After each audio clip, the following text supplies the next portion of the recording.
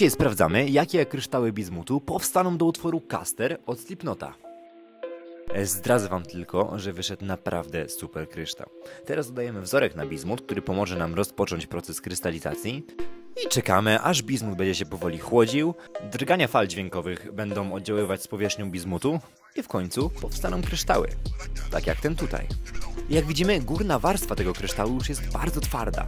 No to możemy już go powolutku wyciągać, ale musimy być bardzo ostrożni, aby nie uszkodzić tego kryształu podczas wyjmowania go.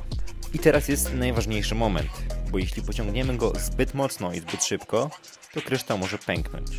A my tego nie chcemy, dlatego robimy to spokojnie, w jedną, w drugą i wyciągamy go w całości. Ale to jeszcze nie wszystko.